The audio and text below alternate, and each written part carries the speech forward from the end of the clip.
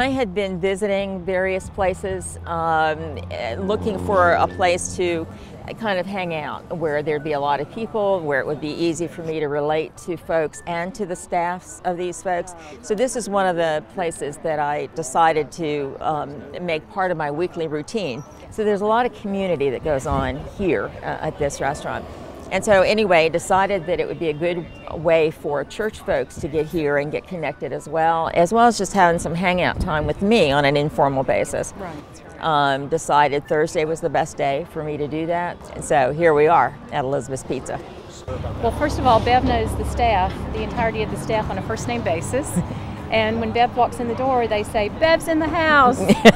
this is just a very relaxed way to get to know folks better and, and also to get to know Bev better. Peter, um, mm-hmm. apparently, Peter, um, after he met Bev, um, um, you know, they had had a conversation. Mm-hmm. Um, and you know at had, the bar at the bar and uh, he was he was asking um, you know it got around to the fact that Bev was a, a minister and um, and you know he was he was very interested in the fact that Bev's a minister, and uh, they got to talking about some philosophical mm-hmm. type questions that Peter had, and uh, and then as a result result of that, um, Peter inquired uh, when Bev, Bev would be back, uh, when she might you know be back at Elizabeth, so maybe he could have a chance to talk with her again.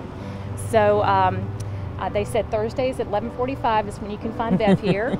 so um, so he came, uh, and we had a group of about six people that day having lunch, and uh, and Peter showed up, and uh, he was. We pulled a chair up and welcomed Peter to, to come on in and join our group, and uh, we had various ages and um, you mm-hmm. know just different, a very diverse group of folks that day, and um, and I think Peter felt very comfortable and uh, was able to um, you know just talk about you know what the church meant to us, and we were able to share some things about our church and uh, he is um, a former tennis pro and uh, with some injuries. So I think he's, um, you know, just ser- you know maybe searching a little bit at this point. And I, I think he found, you know, that he um, that he could relate to all of us mm-hmm. in the group, and it started mm-hmm. with Bev.